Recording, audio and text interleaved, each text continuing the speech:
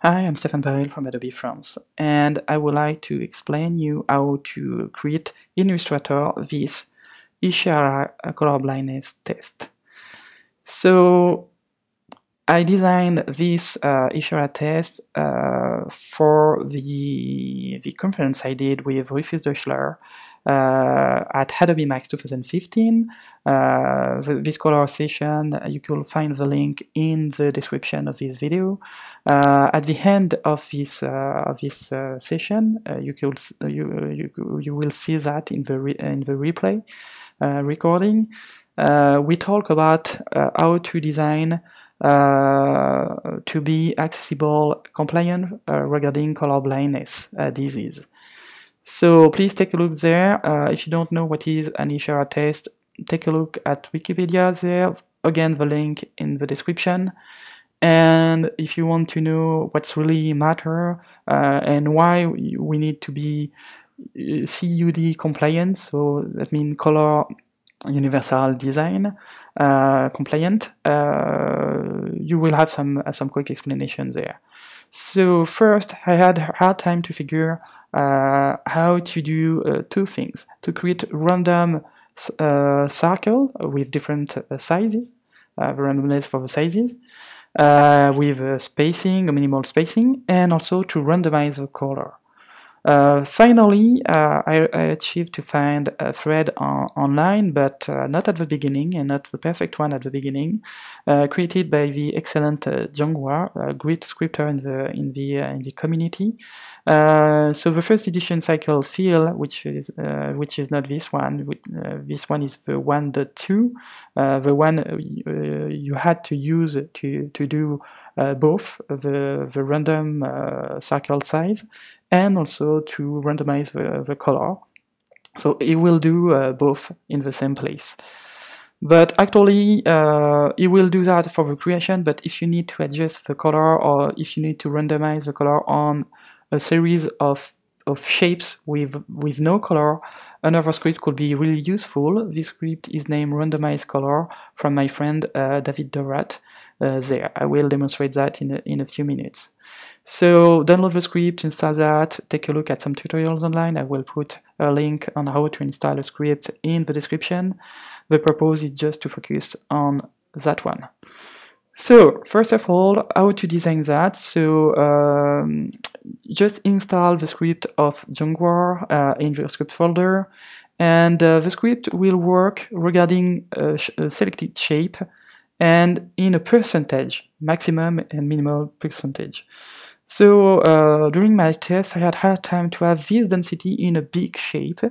So I realized I need to define, uh, you know, a shape, uh, relatively small but not too small shape. For example, the X uh, I really want, uh, which is really compliant of, the, of this size, and to to work on this size, to generate circles in this uh, size, and use a pattern after that to replicate that and uh, to to keep this size uh, all around my, uh, my, my file. So I will focus on this size. So just cut that in my my pathboard, creating a new document just to focus in this tutorial on what's really matter the creation of this circle. So here we are. So uh, with this uh, shape selected, uh, I will use the, the script, so placed in the script folder, and here uh, circle fill. So it's the one, that two.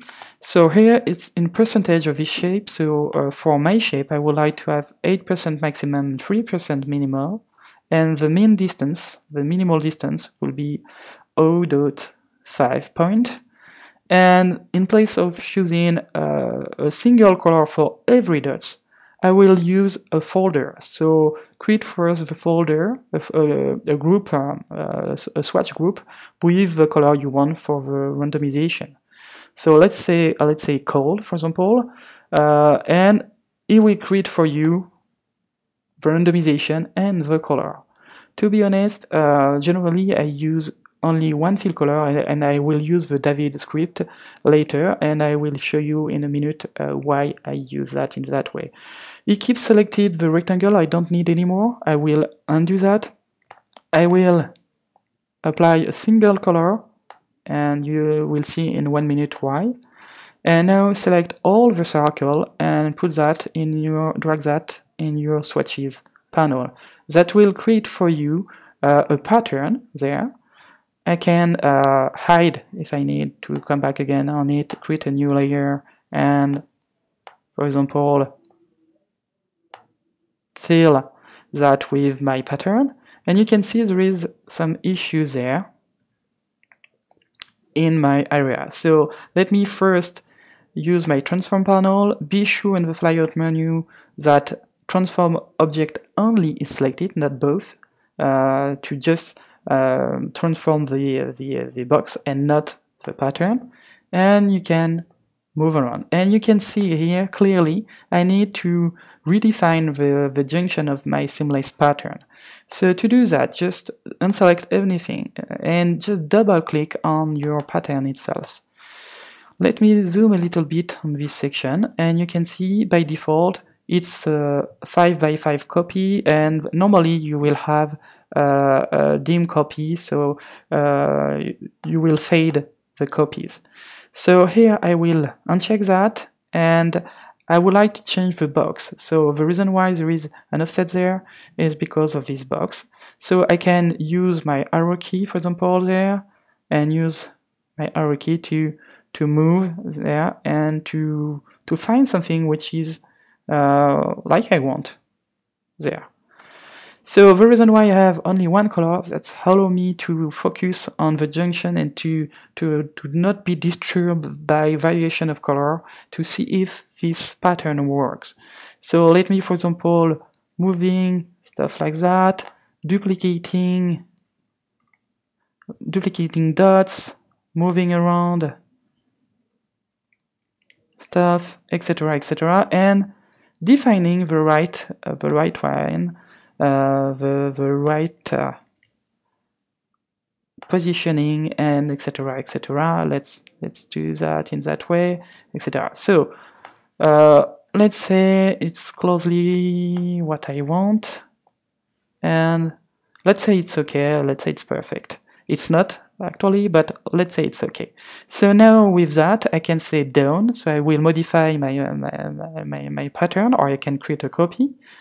And I will have now something which is more like what I want. So with that in mind, you can now use this, this copy, come there, for example, and, and paste that in a layer like that here. Uh, and you can just uh, use a reference, like for example, this one,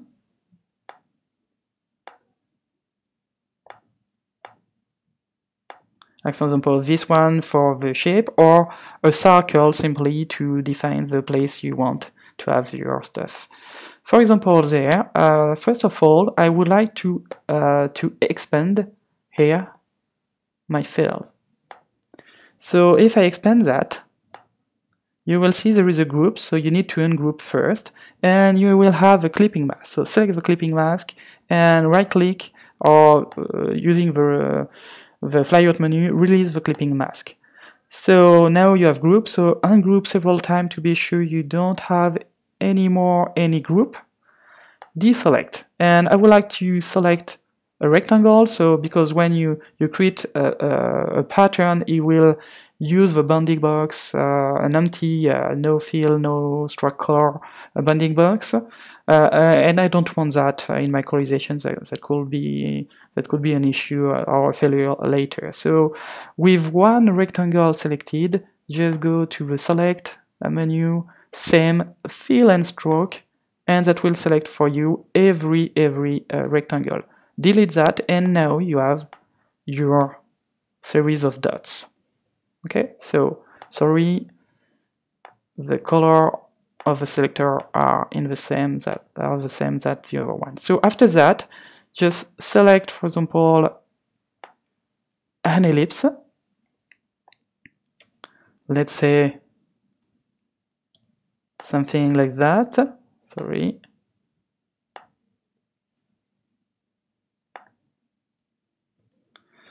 X, oh sorry, x, x, uh, up.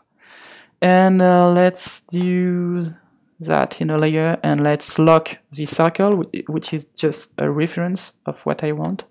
And now you can use, for example, your lasso tool to say, I would like to do, to delete stuff like that, delete twice, because the lasso tool select just the anchor point.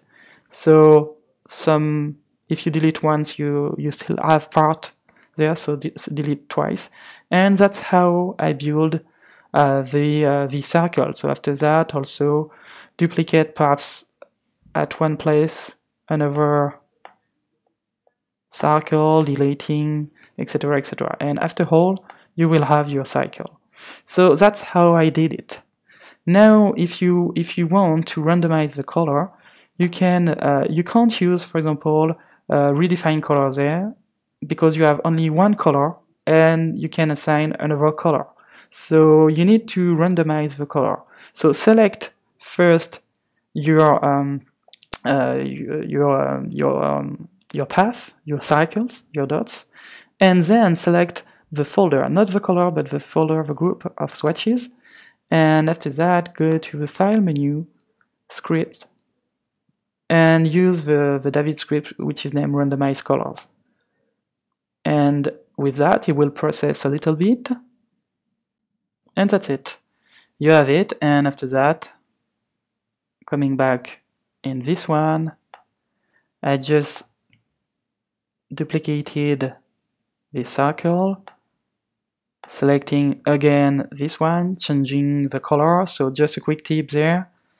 If you want, because it's that will randomize uh, the color regarding the number of swatches there. If you want to have uh, more uh, more more dots with that color, you had to duplicate, uh, and same for this one and this one uh, I don't want to have uh, to have. I just want to have few of this one of this one randomly. So that's the reason why I have some duplication time to time there in my recolorization.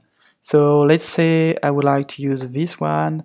Let's say I would like to to use again the David script randomize uh, color and it, it will do the, the magic for you and I will just delete uh, the dot which are not uh, on the Adobe Max uh, design. So let's say, okay, now I have both.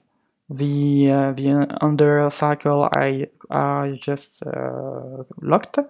So let's now uh, select all these dots, delete all these dots, delete, etc., etc. And now you know how I did it. So at the end, just hide the stuff and you will have your Ishihara test.